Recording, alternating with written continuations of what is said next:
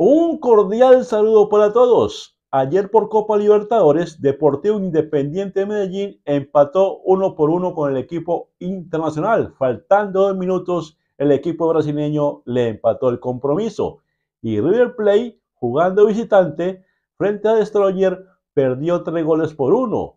Borja ingresó en el segundo tiempo, pero River fue goleado en el territorio boliviano. Y por Copa Suramericana, Millonarios le ganó tres goles por cero al equipo Defensa y Justicia de la Argentina.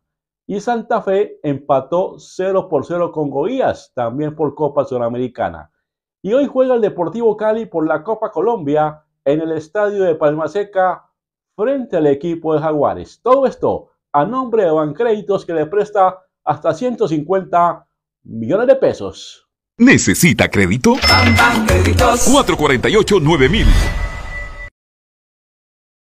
Ayer en rueda de prensa, el técnico del cuadro deportivo Cali, Luis Pinto, lloró porque se siente muy triste por la situación que atraviesa el equipo deportivo Cali. Que sepan que el grupo, los jugadores, el cuerpo técnico, somos honrados.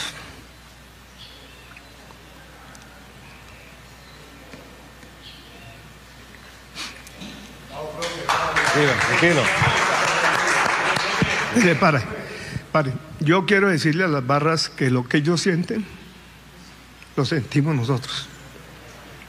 Ustedes, como ellos sienten venirse de Bogotá, venirse de Neiva, como fueron unos a acompañarnos, nosotros también sentimos el vernos así, ¿sí? destrozados.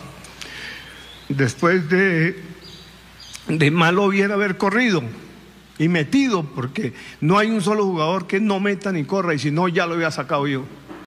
Juega el Deportivo Cali por la Copa Colombia a las 7 de la noche frente a Jaguares. Para ese compromiso se abren las tribunas de Occidental y de Sur. Y también a las 5 y 30 jugará Magdalena frente a Tigres en territorio samario. Y también hoy por Copa Libertadores jugará Patronato frente a Nacional a las 5 de la tarde y a las 9 de la noche jugará Deportivo Pereira frente a Colo Colo de Chile. Hasta aquí la información deportiva, que la pasen bien y que tengan un excelente día.